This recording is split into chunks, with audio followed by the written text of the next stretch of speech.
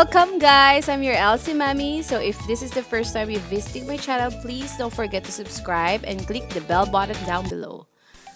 So today, ang ating ita-try na gawin ay ang almond flour pancake mixture from Let's Back to Shape LCIF. Andyan sa description uh, below yung kanilang uh, social media accounts if you want to follow them. So, tara na, let's start! So, ayun nga, um, umorder ako sa Lazada, sa kanilang store, at nakakatuwa dahil um, Itong almond flour pancake mixture nila is 100 grams at exact amount siya dun sa 1 cup. So, for single recipe. And meron silang recipe na kasama at ang freebies nila ay itong pink Himalayan salt. So, ayan. Ang sabi dito, ang gagamitin natin is uh, yung 1 cup or yung 100 grams nga ng kanilang pancake mixture, 2 eggs, 1 4 cup of water, and coconut oil or butter lang. So, ba? So, ang easy-easy lang ng steps na gawin. Kaya sa mga gustong umorder sa nasa description yung kanilang Lazada store, yung kanilang um, link din dun sa description box ko. Okay? So, tara na. Start na tayo. So, mag-ready lang tayo ng isang malinis na bowl. Let's crack the two eggs and ibit lang natin siya ng very, very light. At you see, meron ako dyan na 1-4 cup of water na ihanda ko na. So, sorry, medyo natapon lang siya ng konti. So, ayan, ibibit lang natin siya ng medyo light lang. And please be careful kasi baka may makasamang shell. So, hindi masarap siyang kainin pagka naisama niyo yung shell ng itlog. So, ayan. And then, ilalagay na natin yung kanilang almond flour pancake mixture. Ayan. So, tignan natin kung talagang 100 grams or 1 cup equivalent yung kanilang uh, pancake mixture. So, ito try ko isalin siya sa ating 1 cup.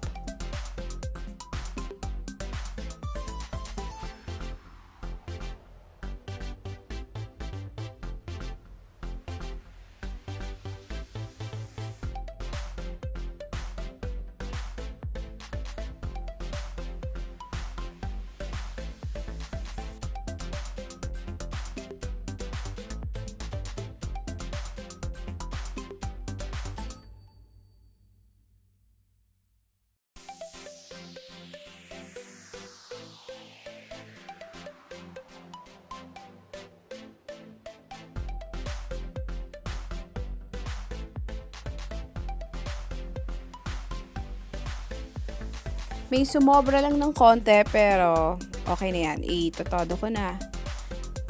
So, ayan. And then, next natin is, I'm gonna add the 1-4 cup of water and then mix it thoroughly lang. And then, we're gonna start cooking na.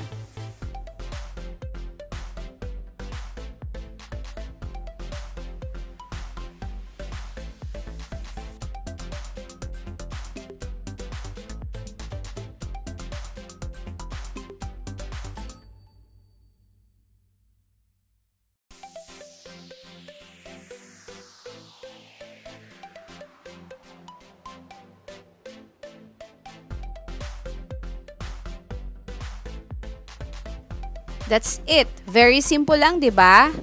So, 'yan. Pwede na natin siyang i-luto. I-ready na natin yung ating pan.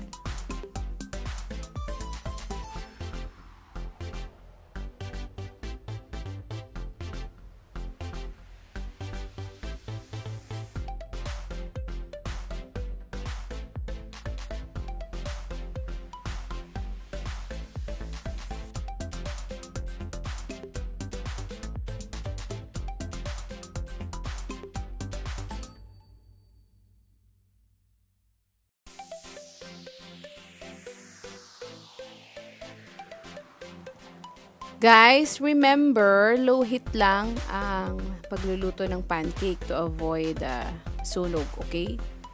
Kasi baka pag sobrang lakas ng apoy nyo, masunog yung pancake nyo.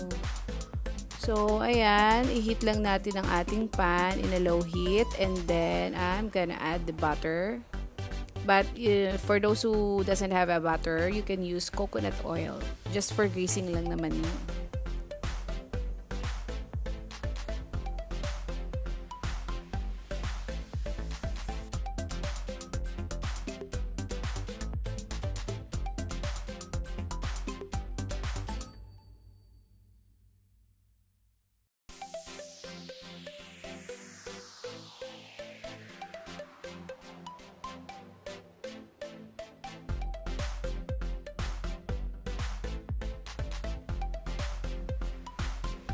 It says there pala na 4 pieces sa uh, um, pancake yung magagawa. So, I'm gonna use the 1 4 cup size, yung kanina, para sa pagtakal ng ating pancake batter. So, ilagay lang natin siya. Ayan, dadagdagan ko ng konti kasi medyo kulang siya. So, tignan natin kung 4 pieces talaga. So, small size lang yung ginawa natin. And then, we're gonna wait 2 to 3 minutes and then we're gonna flip it over. I think it depends naman yon sa inyo kung ganong kalaki. Some of us, we use a pancake molder na medyo makapal. So, depende siguro yon kung ganong kalaki or kaliit yung gagawin yung pancake.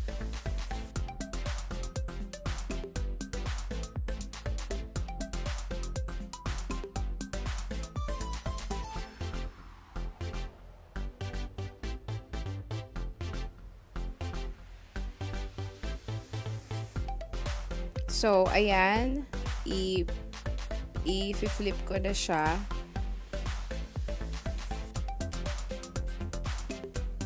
Ayan, yan medyo konting uh, brown yung ating pancake. Nga pala, please, uh, pardon my gas stove kasi madumi. so, pasensyahan nyo na. At hindi nakapaglinis ang inyong mommy.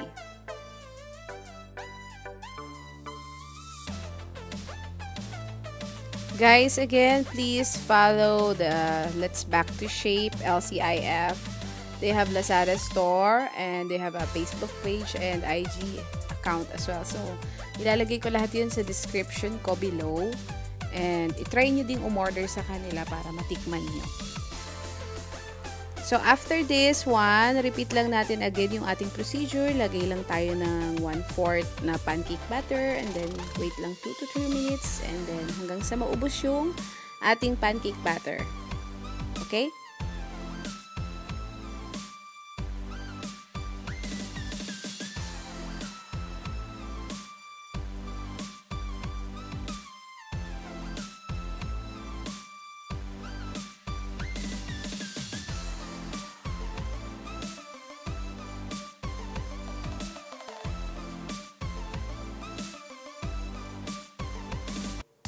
Ayan guys, so kita nyo tatlong pirasong pancake lang yung nagawa ko kasi sad to say, nagkaroon na kami ng baby drama ng aking baby kanina at gusto niya nang kainin yung kanya. So pinakain ko na siya.